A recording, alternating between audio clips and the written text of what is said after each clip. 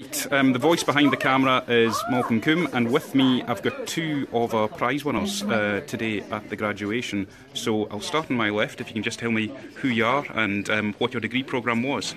Uh, my name is Guillaume Twaini. Uh, Yeah. My degree program was um, the English and um, Scots Law Law course. Great. And on my right, My name is Julia and I do LLB with European Studies. lovely. And how are you feeling today, folks? Really great. Overwhelmed. Good. yeah, definitely. Brilliant. And if you could just tell me a little bit about the prizes that you're clutching there. So if you want to hold up that certificate a little bit, Guillaume. Uh, This is the well, Captain McFarlane, Captain Michael G. McFarlane, Commander B.S. Um, Ratan Takhat. It's a bit of a memorial. A few names scholarship. thrown in. Lovely. And um, it's basically an award for someone who went beyond the call of duty that um, I got given today.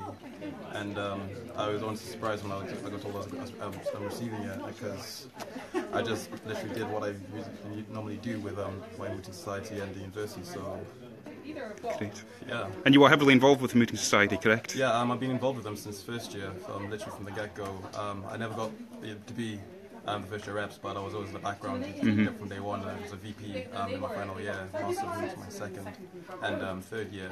And um, I was like, um, like the main thing, my main focus throughout the year has always been to bring more students into mooting. Yeah. And um, that's kind of been like, you know, to kind of create a, well, you know, put the university on a pedestal, so we're not, we're not just, you know, that Absolutely. third so it's a small, um, bigger city in, in Scotland, where we actually have a UK presence rather than just a Scottish presence. But Great. Yeah. And mooting, of course, is the mock trials that we do and the co-curricular stuff. If anyone's not too sure what we're talking about. And Julia, the prize you got, I believe it was the Cloch Prize.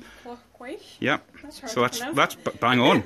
You've been in Scotland plenty of times. Did you get that? Yeah, that's yeah. But it's a prize uh, awarded for the best um, dissertation in intellectual property related Brilliant. topic. And what was that? Uh, we had the title earlier. Can you remember it? Uh, yeah. Uh, it was on.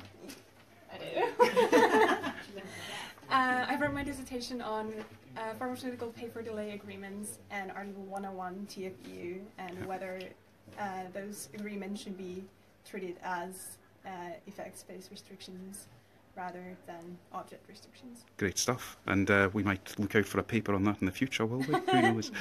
Okay. And today, what's happening next? Have you got your family with you for a bit of a celebration? Or yeah, I've had them with me all day. yeah. Yes. You said like it was a chore. Oh no, you have to guide them here, there, and everywhere. Then you want to see the city, and you have to take them down to them. This is going to be on Facebook Live for posterity. and Julia, No, my family's been here plenty Great. of times, so Yeah. they already know brilliant. know they were around. Good. Okay, well, we need to get out of the Taylor Library by five o'clock, so that's uh, just about time, I think, to end the Facebook Live. Thanks so much and congratulations again. Thank you. All the best.